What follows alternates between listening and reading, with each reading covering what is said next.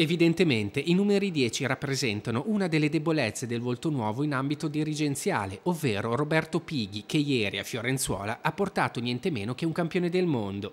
È toccato infatti a Giancarlo Antonioni vestire i panni del testimonial d'eccezione di un segmento della società valdardese che sta particolarmente a cuore al club del presidente Pinalli, il Vivaio. Attualmente ricopre un ruolo diciamo, istituzionale in federazione dove segue le nazionali giovanili, quindi credo che il miglior posto dove poter venire era proprio questo, oltre all'amicizia che mi lega a Roberto, al Presidente, ma anche altre situazioni calcistiche. Senta Antonioni, ma con tutto quello che sta accadendo intorno al calcio, lo sente ancora suo questo mondo?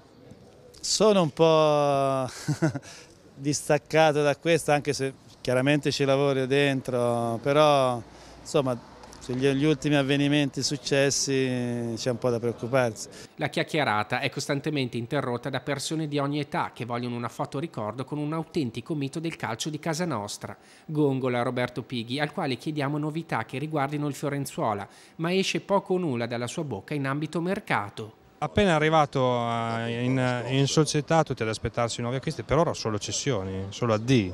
Ma vedrà che come ci vede tutti abbastanza eh, caldi e carichi e sereni annunceremo a giorni tre o quattro acquisti già sostanzialmente definiti di assoluto un giocatore di categoria o che arriva? Assolutamente che potrebbero fare anche la C. Invece oggi si eh, celebra un altro tipo di attività della Fiorenzuola che è un fiore all'occhiello per voi. A Fiorenzuola si vive, si respira e si lavora in una direzione dove problemi di alcun tipo non ci saranno mai, piuttosto si rinuncerà magari in qualche occasione a qualche nome. Visto che è amico di Antonio, lei sarà un appassionato di, numero, di numeri 10, presumo.